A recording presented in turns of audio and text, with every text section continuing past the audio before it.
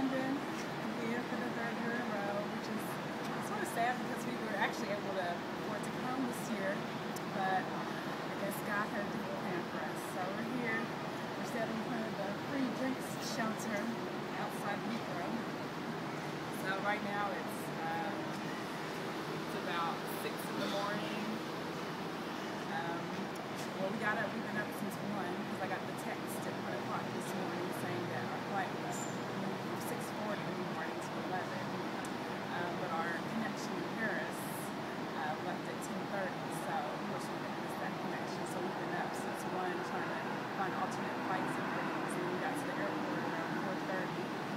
Um, so now it's about like six fifteen.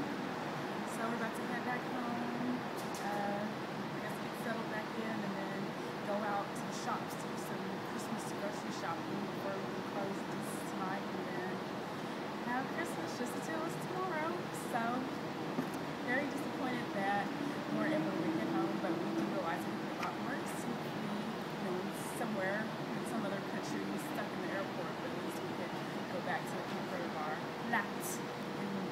So on we go.